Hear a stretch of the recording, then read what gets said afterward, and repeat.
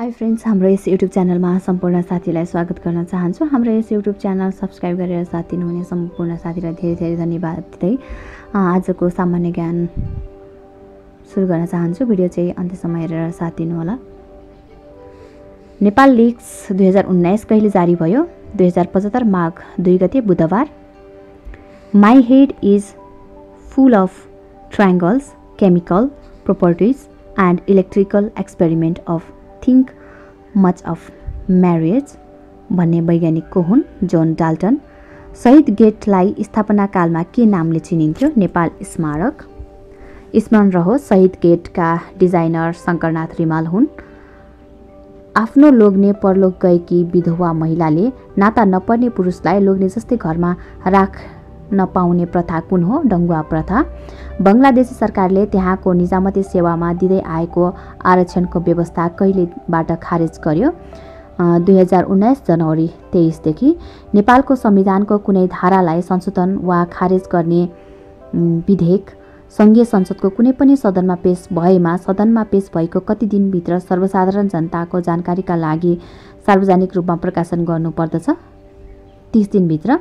Green belt movement कहिले चलेको अभियान हो? सन् उन्नाइस सय सतहत्तरमा स्मरण रहोस् यो अभियान बङ्गाली मार्थाईले चलाएको अभियान हो जसको नारा प्रत्येक आमाले आफ्ना बच्चा र बिरुवालाई बराबर ममता प्रदान गर्नुपर्दछ भन्ने रहेको छ। ग्लोब सरकार अवार्ड दुई हजार अठार कुन खेलाडीलाई प्रदान गरियो? Cristiano Ronaldo. अन्तर्राष्ट्रिय साक्षरता दिवस कहिले मनाइन्छ? सेप्टेम्बर आठमा। वैशाख सङ्क्रान्तिमा वा नयाँ वर्षका दिन पुरानो आगो निभाई गिदरीको काठ आपसमा घर्षण गरी त्यहाँबाट नयाँ आगो निकाल्ने रमाइलो गर्ने चलन कुन जातिमा रहेको छ? दराईमा।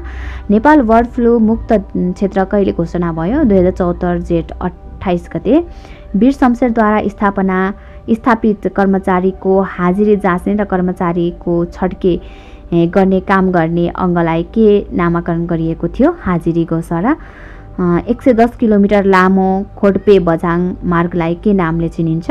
जयपृथ्वी बहादुर सिंह मार्ग। चर्चित कृति सल्लीपेरका लेखक को हुन् नयनराज पाण्डे। नेपालमा बाँदर विशेषज्ञ भनेर डाक्टर मुकेश कुमार चालिसेलाई चिनिन्छ भने बाघ विशेषज्ञ भनेर कसलाई चिनिन्छ?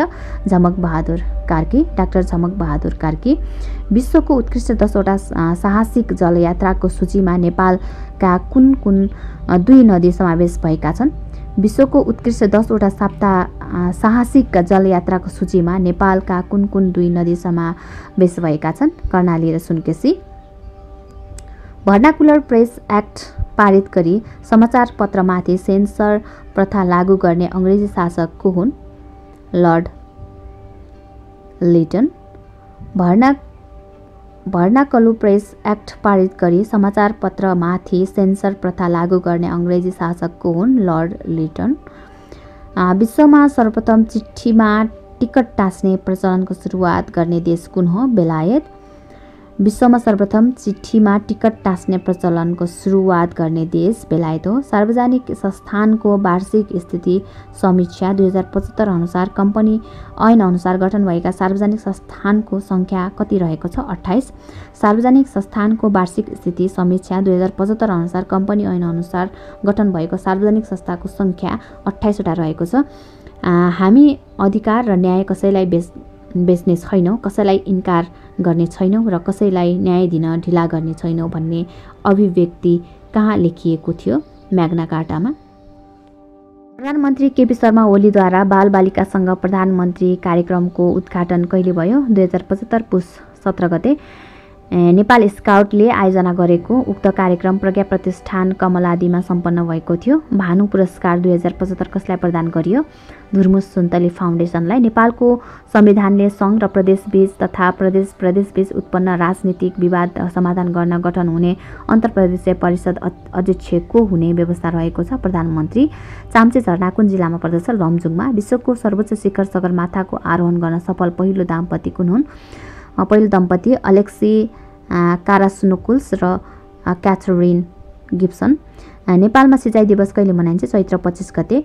अटोमेटिक राइफलमा राइफलका आविष्कारक को हुन् जान एम ब्राउनिङ। बारुदी सुरुङमुक्त प्रथम एसियाली मुलुक कुन हो? Nepal. IME Nepal literature festival दुई हजार अठार कहाँ सम्पन्न भयो पोखरामा? दुई हजार पचहत्तर पुस सात गतेदेखि दस गतेसम्म सञ्चालनमा रहेको फेस्टिभलको मूल नारा जहाँ शब्दहरू जीवन्त रहन्छन् भन्ने रहेको थियो। पहिचान पुरस्कार दुई हजार उन्नाइस कसलाई प्रदान गरियो? सरस्वती प्रतीक्षाको नथिया र उन्मुक्त पुस्ताको आफर नामक प्रकृतिलाई स्मरण रहोस्। पहिचान पुरस्कारको पुरस्कार राशि दुई लाख दुई हजार रहेको छ। हालसम्म प्राप्त प्रमाणका आधारमा बेलाय जाने प्रथम नेपाली कसलाई मानिन्छ? मोतीलाल सिंह इन्टिग्रेटी आइडल नेपाल दुई हजार अठार हुन सफल व्यक्ति को हुन्? रामबहादुर कुरुवाङ। नेपालको संविधान अनुसार प्रदेश प्रमुख हुन कति वर्ष उमेर पुरा भएको हुनुपर्छ? पैँतिस वर्ष। राजवंशी जातिमा पूर्वजको आत्माको चिर शान्तिको कामना गर्दै मनाइने जात्रालाई के भनिन्छ? हुदुरधुरा जात्रा। पहिलो राष्ट्रिय सुरक्षा दिवस कहिले मनाइन्छ? दुई हजार पचहत्तर मङ्सिर एघार गते। सार्कले दुई हजार दसदेखि दुई हजार बिसलाई कुन दशकको रूपमा मनाउँदै आएको छ? सार्क अन्तर क्षेत्रीय सम्पर्क दशक। नेपाल र भारत सम्पन्न महाकाली सन्धि कहाँबाट कहिले पारित भयो? दुई हजार त्रिपन्न असोज चार गते। मित्र राष्ट्र चिनको भ्रमण गर्ने नेपालको पहिलो प्रधानमन्त्री को हुन्? टङ्कप्रसाद आचार्य। औद्योगिक व्यवसाय ऐन दुई हजार उनपचास अनुसार एक द्वार समितिको संयोजक को हुने व्यवस्था रहेको छ। उद्योग विभागका महानिर्देशक लिच्छवी कालमा मन्त्री सरहको पदाधिकारीलाई कुन पदको नामबाट संशोधन गरिन्थ्यो अमात्य कुन वर्ष राष्ट्रभक्त फ्रेन्च महिला सैनिक जोन अफ अर्का आर्कलाई जीवितै जलाइएको थियो?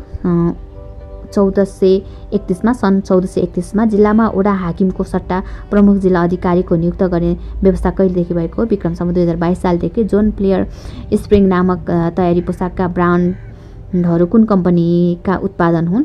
सूर्य नेपाल एकमात्र पृथ्वीको स्याहार र उपयोगी गरौँ भन्ने नारा कुन शिखर सम्मेलनको घोषणापत्रले पारित पारित गरेको पृथ्वी शिखर सम्मेलन उन्नाइस सौ बयानब्बे संयुक्त राष्ट्र सङ्घीय विश्वविद्यालय कुन देशमा रहेको छ जापानमा?